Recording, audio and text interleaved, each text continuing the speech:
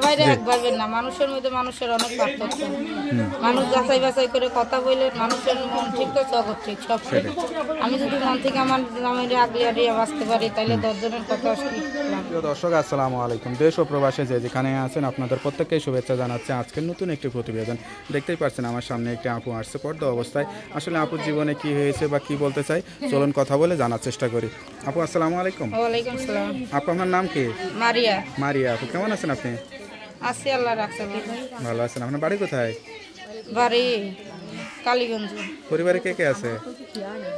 পরিবারে আছে মা আছে বাবা বিয়ে করে লিয়ে চলে গেছে। হ্যাঁ আপনার বিয়ে হয়েছে? আমার ভাই বিয়ে হয়েছিল না হওয়ার মতো। মানে কি?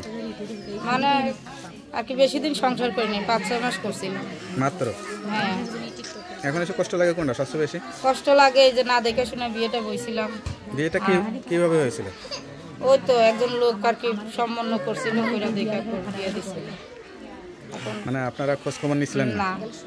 সে খারাপ ছিল সে আর কি খুনি ছিল আসামি ছিল। অন্যকান্তনে মার্ডার করে আইসা আর কি লোক দিয়ে বিয়ে করে কি করছিল। তার মানে এখন বুঝতে পারতেছেন তো বিয়ে শাদী আসলে খোঁজ খবর যাচাই বাছাই করা ছাড়া বিয়ে শাদী করাটা ঠিক না তাই না?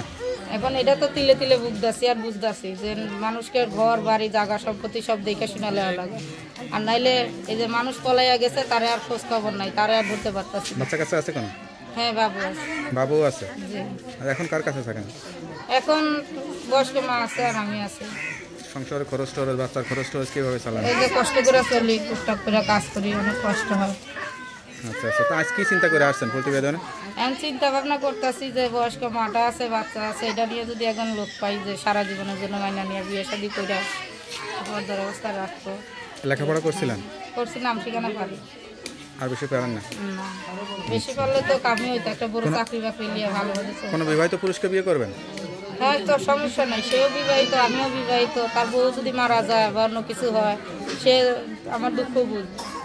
সেরকম যদি হয় তাও আমার সমস্যা নেই। এতদিন স্বামীর সংসার ছাড়াছাড়ি হয়েছে এর ভিতরে কেউ বিয়ে সাথে করার জন্য আসে হ্যাঁ নাই?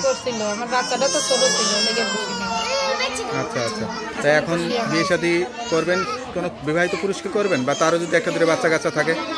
ভাই আমার বাচ্চারা যদি অতি সারা জীবন লালন পালন করে নিজের আপন করে গ্রহণ করে তার দ্বারাও আমি মন থেকে আপন করে নিয়ে গ্রহণ করে নিয়ে। আচ্ছা যাই হোক আপনার চিন্তা ভাবনা ভালো। যেহেতু এইভাবে আছেন আমি মনে করি বিয়ে শাদী করে স্বামীর সংসার করাটাই আসলে ভালো। তো আপনার সঙ্গে কীভাবে যোগাযোগ করব? মোবাইলের মাধ্যমে নাম্বারটা দিলে সমস্যা নাই তো? না কোনো সমস্যা দেখে বলতে পারেন?